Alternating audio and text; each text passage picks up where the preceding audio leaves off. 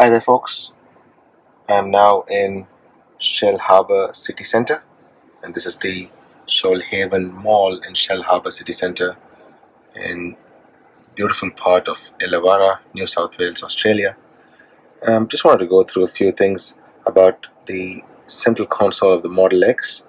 It's, it's quite awesome. I'm sure there are a number of videos that, I, that are around talking about the central console and how gorgeous it is and how responsive it is and all of that.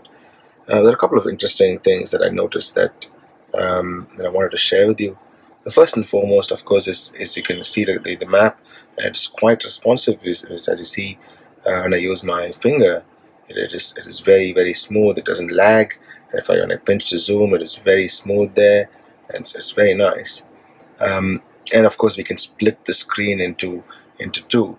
And that's where the quirky things come. So if I want to split the screen this is what what what I'm doing. So if I want to split the screen to let's say I want the back camera to be activated or the or the music player to be activated I just have to hold it down and there is a, a dual split there I can just drag and drop. And as you notice you see when I dragged and dropped in that into the lower half of the screen the lower half is populated by that app let me drop it back. So I've just dropped it back. So this is the top half of the screen.